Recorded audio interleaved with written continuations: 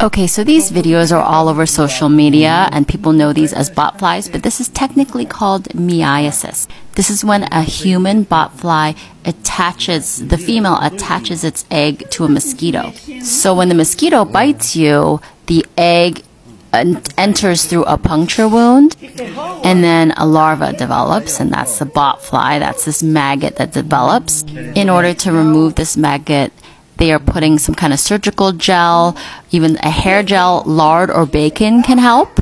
And you want to just create an occlusive barrier so that the maggot kind of pushes its way out and you grab it and you pull. I would pull slowly though because that's got to be painful unless you put a little anesthetic there first. Those are gross and you've probably seen videos of people with a lot of them or even animals with a lot of them. But uh, yeah, wear your mosquito